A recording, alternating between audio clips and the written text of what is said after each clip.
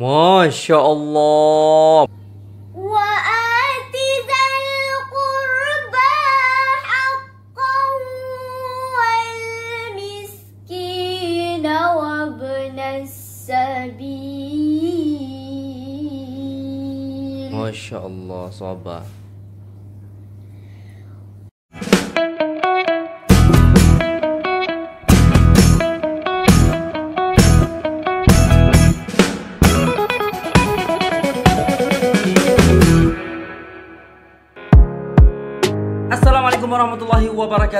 lagi dengan saya guys. Cak Mujib Gimana kabar teman-teman semua? Semoga sehat selalu dalam lindungan Allah subhanahu wa ta'ala Dijauhkan dari segala mara bahaya Malapetaka bencana dan balak Serta berbagai macam penyakit. Amin amin ya rabbal alamin. Alright guys Kali ini kita akan reaksi sebuah video Tapi di sini kita mau scroll-scroll guys ya. Acara yang teman-teman tunggu-tunggu kayaknya. Karena kenapa? Ketika kita membuat video scroll Ataupun reaksi dengan uh, konten scroll Itu teman-teman banyak antusiasnya. Nah tanpa berlama-lama langsung saja guys kita scroll videonya. Let's go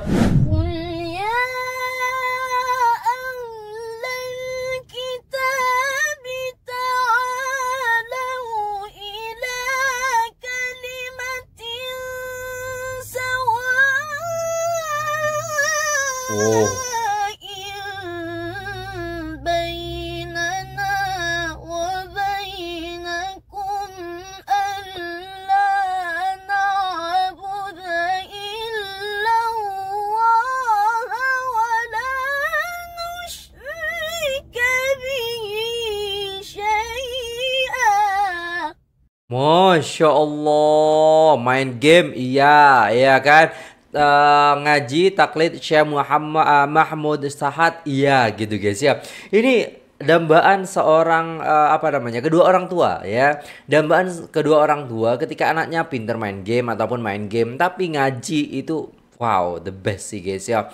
Jadi kita memang apa ya harus menstabilkan antara dunia dan juga akhirat. Terbaik ya, masya Allah. Ini Ade Azbar ya guys ya.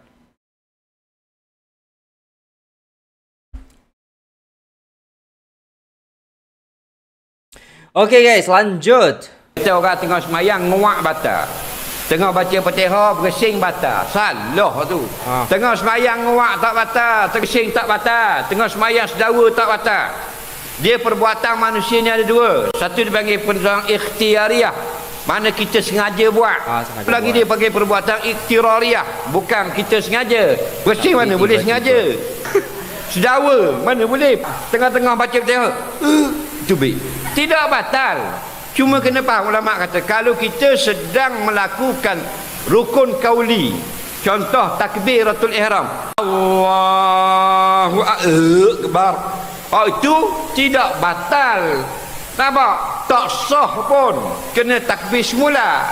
Kalau datang pada Fatihah tak batal Fatihah. Ulang balik ayat. Ah. Maliki yaumiddin. Ada sedawa terganggu. Maka maliki yaumiddin wajib ulang semula. Kita orang tengah semayang Oh, itulah guys ya. Jadi hukum kita apabila kita sembahyang, menguap, bersin, batuk ketika solat, maka uh, tak batal solat kita. Tapi kalau semasa kita Allah Ah, kena ulang lagi ya kan. Tak sah takbiratul ihramnya macam tu guys ya. Tapi kalau dalam Fatihah pun kita kena ulang lagi ayat tadi supaya menyempurnakan ya surah daripada ayat uh, surah Al-Fatihah itu tadi guys ya.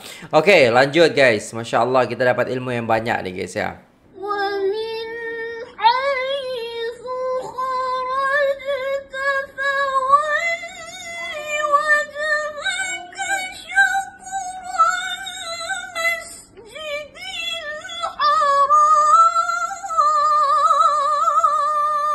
شاء الله. Ka'bah itu yang bangun siapa? Ada yang bilang yang bangun Nabi Adam, tapi ada yang bilang juga yang bangun bukan Nabi Adam, tapi yang bangun adalah malaikat. Yang bilang siapa? Ulama. Maka ketika malaikat-malaikat membangun Ka'bah, itu disediakan buat manusia untuk kemudian menyembah Allah sebagai sebuah simbol tempat persatuan. Dari zamannya Nabi Adam, Ka'bah ini sudah ada dan dijadikan sebagai pengingat kepada Allah. Ketika zamannya Nabi Nuh, Ka'bah ini kemudian bubar. Ka'bah ini kena banjir kemudian ketutup. Pada masanya Nabi Ibrahim karena spesial Allah minta kepada Nabi Ibrahim untuk kembali menegakkan Ka'bah, mengangkat kembali kaidah-kaidah Ka'bah. Allah kemudian wahyukan kepada Nabi Ibrahim di mana letak-letak Ka'bah. Kemudian Nabi Ibrahim mengajak kepada anaknya Nabi Ismail untuk kemudian sama-sama menegakkan Ka'bah.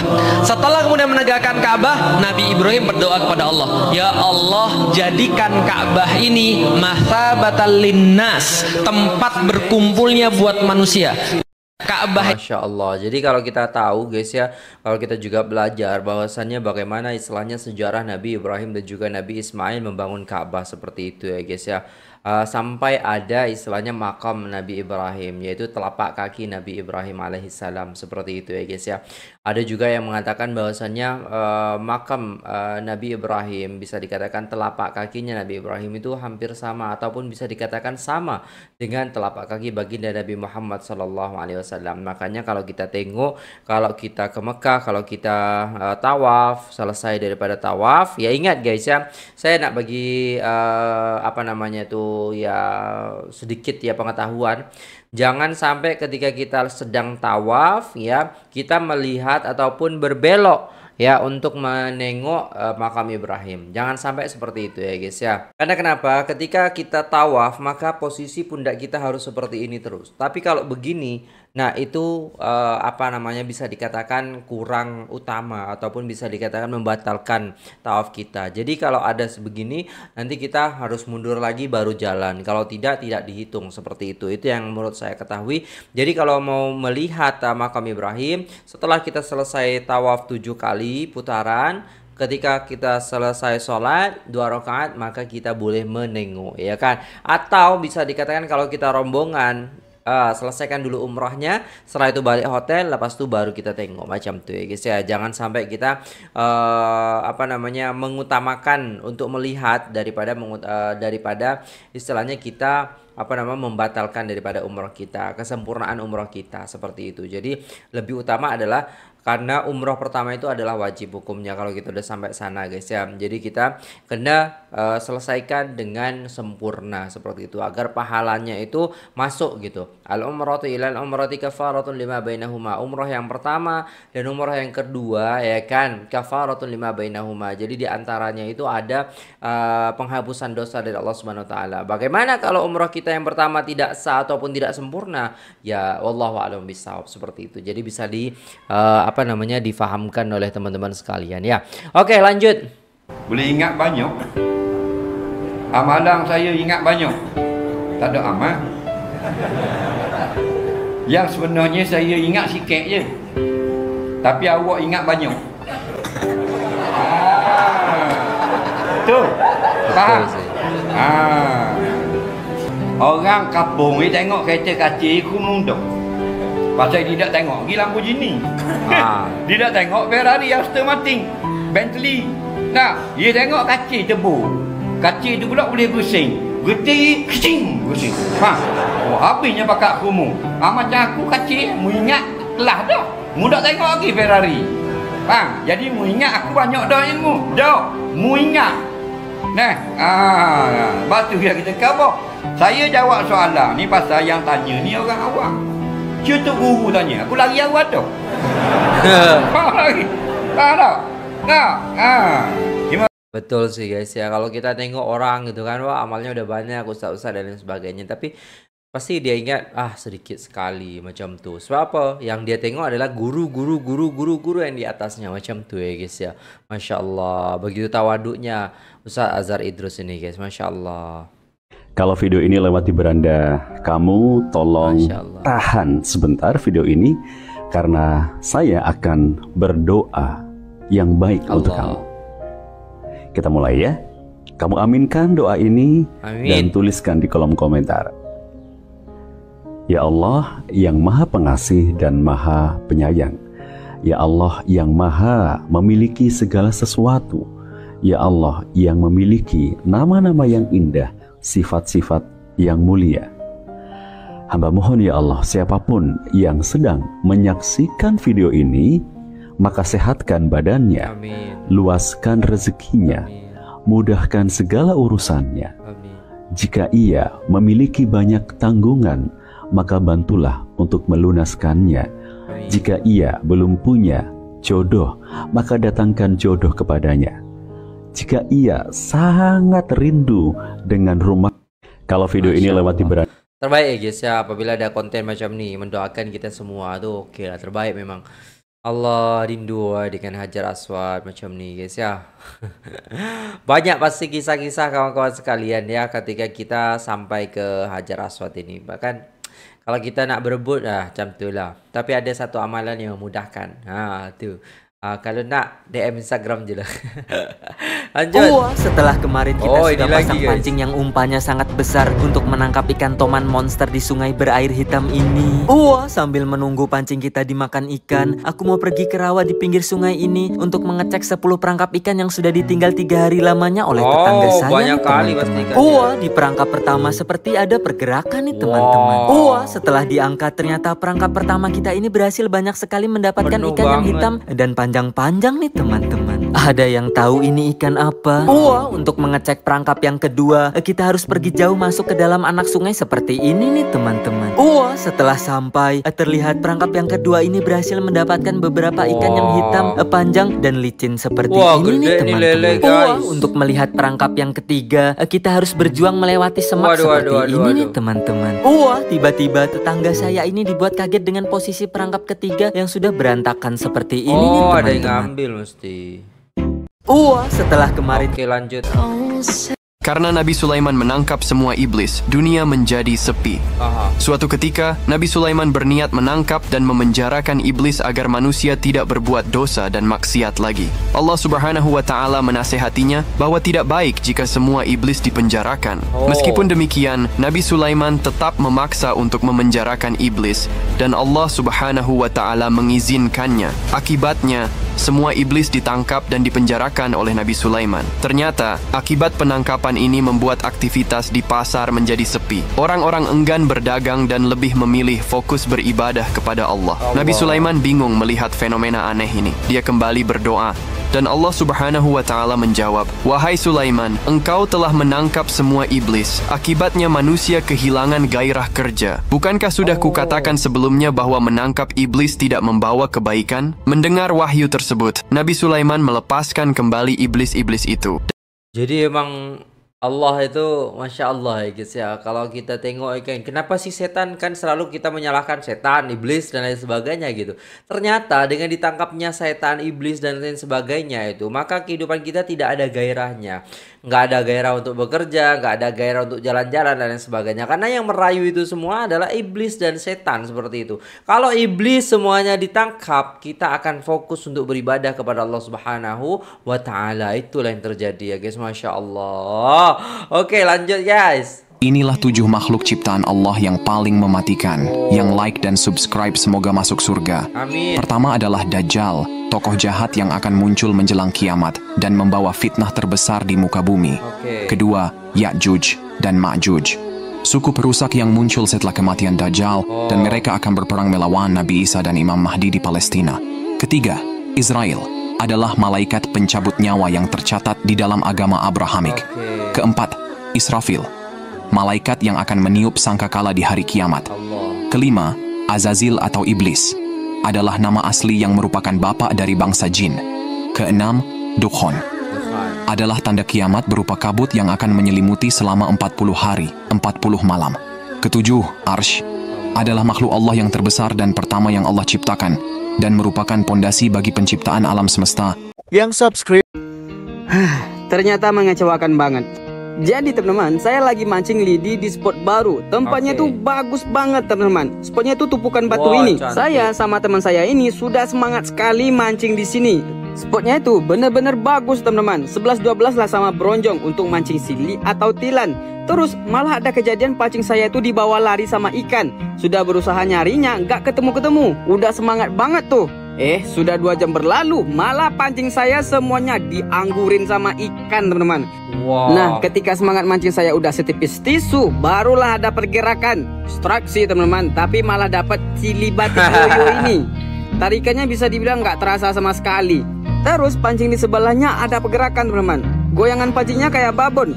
Pas ditarik, eh Sama malah aja. yang sama yang dapat. Malah lebih kecil pula dapat ikan Oh. silinya teman-teman. Terus trek terakhir nih, udah pindah alam duluan. Aduh, meskipun dapat ikan tapi spotnya menge coba. Ya, ya, ya. Spotnya bagus tapi hasilnya gitu ya, guys. Kecil-kecil. Gak mau dia kayaknya. Lanjut. Oh, apa nih, guys? Oh. Wah. Wah, apa ini? Oh, itu tuh. Benda apa itu, guys?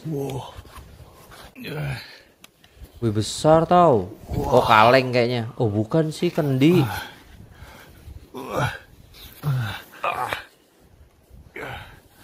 Wah, jadi ketika kita di laut, guys, di pantai gitu, kita melihat semuanya datar gitu ya, tapi nggak tahu di dalamnya ada apa. Iya itu. Wah, menyenangkan punya alat ini ya, guys ya. Oh, bagus, guys. Wah, jangan-jangan emas semua di dalamnya nih. Ditutupi kayu, guys. Pecahin aja. Wow.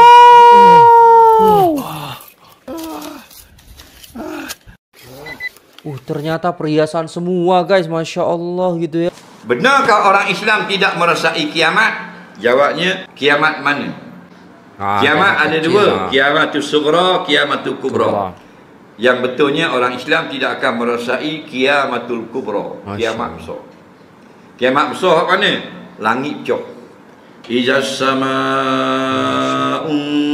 syaqqat apabila langit-langit nanti terbelah Iza zulzilatil ardu zilzalaha Bila Allah goncangkan alam ini semua hancur habis Kiamat tu Orang beriman tidak merasainya Kerana sebelum datang kiamat besar Allah hancurkan alam Allah matikan sekalian orang beriman dalam hadis Dengan angin yang sangat sejuk Masya Sejuk mari satu angin Semua orang beriman mati Kerana apa? Allah tak nak kita merasai azab runtuh langit Faham lagi? Paham. Masya Allah guys. Jadi Alhamdulillah kita kita kena bersyukur selalu kepada Allah Subhanahu Wa Taala bahwasanya Allah Subhanahu Wa Taala tuh sayangkan kita. Allah Allah Subhanahu Wa Taala nak kita tuh tak merasai azab-azab macam tu ya guys ya.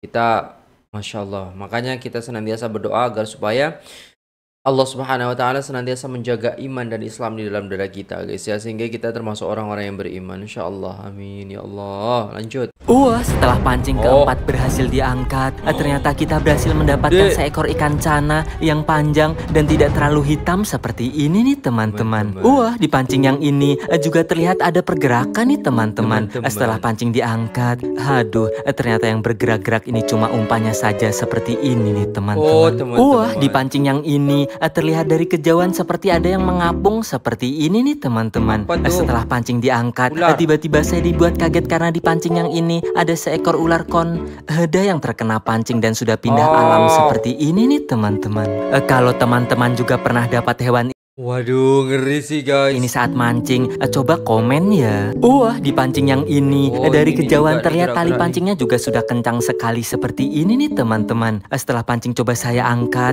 ternyata di pancing yang ini ada seekor ikan yang lumayan monster nih teman-teman. Wow. Kalau di tempat kalian, ikan ini namanya ikan apa ya? Oh iya, kayak ikan lele tapi bukan ya guys ya. Wah.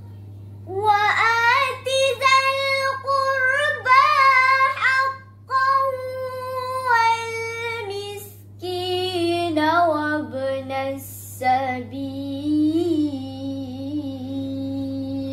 Masya Allah Soba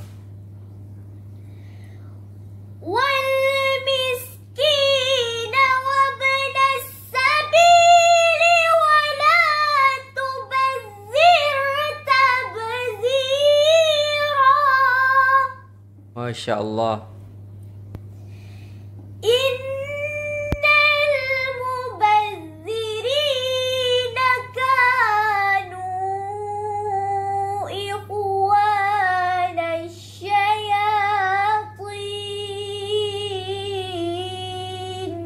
Masya Allah Cara menggunakan Glock 17 Pertama, isi magazine dengan peluru kaliber 9 mm. Masya Allah. Setelah terisi, masukkan magazine ke dalam Glock. Wow. Pada posisi ini, belum bisa menembak. Kokang agar peluru masuk ke dalam chamber.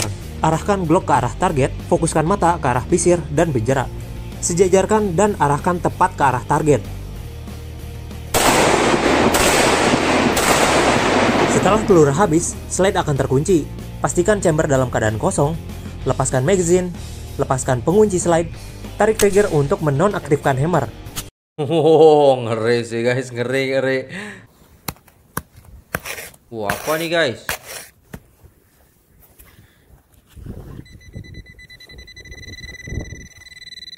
Buka mana tuh? Ada apakah ini di dalam? Oh, dompet. Tuh, tuh biasanya kalau orang yang main ke salju itu kan bagus-bagus dompetnya pasti di dalamnya tuh ada perhiasan-perhiasan, guys. Bener gak sih? Wih, cantik tasnya tuh. Coba kita buka. Oh! Oh my god. Itu uang apa, guys? Apakah uang emas? Oh. Beb, beb, beb, satu juta buat kamu kalau kau bisa habisin satu potong ayam KFC ini dalam dua gigitan aja. Bisa atau enggak? Beneran bisa kamu? Ya udah kalau gitu langsung aja nih buktiin ke aku. Tapi sebelum itu aku mau say thank you dulu nih buat kalian yang lagi nonton video ini. Soalnya yang tadinya cuma 14% orang yang nonton subscribe video aku Sekarang udah naik jadi 23% orang. Jadi terima kasih ya. soalnya sebentar lagi kita subscribe, akan naik guys. jadi 7 juta subscriber Mau Wow. sekarang kita lakukan challenge-nya Enggak pakai lama langsung aja si Vina mulai siap-siap buat makan ayam KFC-nya ini. Mari kita lihat guys apakah si Vina beneran bisa ngabisin satu potong ayam KFC ini dengan dua gigitan aja. Dan ternyata beneran bisa dong guys. Bahkan baru satu kali gigitan aja. Sebagian besar habis. ayamnya udah hilang. Tapi karena ayam KFC masih panas. Jadi mulut si Vina kepanasan. bisa sih, Beb? Ya bisa lah, aku kan punya pacar So yaudah deh guys enak. Oh, apa nih? Oh, tutup Coca-Cola. Eh, bukan, guys.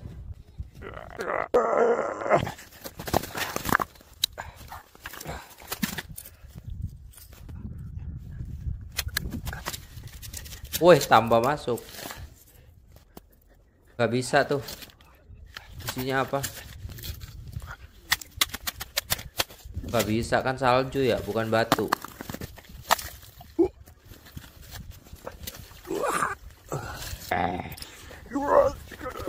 Gak bisa lah.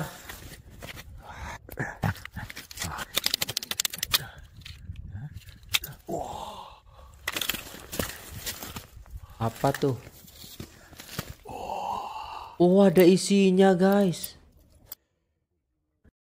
Bu, apa tuh? Kaunka, Kaunka, oh, tahun 1969. Wow, gila gila. Petipe bocil gabut part 5 1. Main lempar kaset Nih, siapa yang lempar kaset paling jauh? Gua kasih mahkota ini Eh, Mana, sini Gong? gua. Gong? Waduh, siapa ini yang lempar? Gua bang ini Jauh banget. Taruh knalpot di sepeda Ya, saya juga gitu dulu. Eh, mondar-mandir berisik. Mau nggak rumah kamu diberisik-berisikin? Berisikin tinggal berisikin Iya Udah gua balik lah ya Lah Waduh. Tiga Main ke sawah Ah, capek bener Emang gua. nggak ada belalang ya dari Eh, tadi eh, roti, eh. Eh, udah ambil aja. Jangan, jangan, jangan Ini punya petani sini, kasihan Apa petani apa? Cuma ada orang-orang sawah doang kok. aman, aman Udah, Ya, Enggak, enggak, aku enggak gitu. Aman ini Aman. Kan petani panen, Pit Wih, iya, lagi Ih, panen Cok. Yaudah, lumayan tuh Coba. Eh, eh, orang sawah mana? 啊！啊！啊！啊！啊！Ada-ada aja ini guys ya Allah. Oke guys, kita udah scroll-scroll dan kita sudah menikmati apa yang ada di sana. Eh, yang paling kita banyak di sini kita ambil adalah eh, orang mengaji dan juga eh, keluarga daripada ini eh, Ade Asbar gitu kan. dan juga Ustaz Azhar Idrus dan juga banyak lagi tadi tipe-tipe ataupun bisa dikatakan hal-hal yang konyol yang dilakukan oleh bocil-bocil bocil tuh bocah cilik ya guys ya dan juga orang-orang mancing tadi guys ya so itu saja video kali ini guys. Semoga terhibur dan jangan lupa like share dan subscribe. Semoga bermanfaat dan apa yang baik kita ambil yang tidak baik kita buang aja oke? Terima kasih. Assalamualaikum warahmatullahi wabarakatuh